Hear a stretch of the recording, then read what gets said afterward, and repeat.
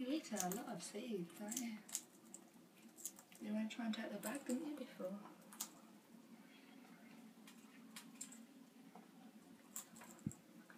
He's watching you. He's going to start drinking my tea in a minute.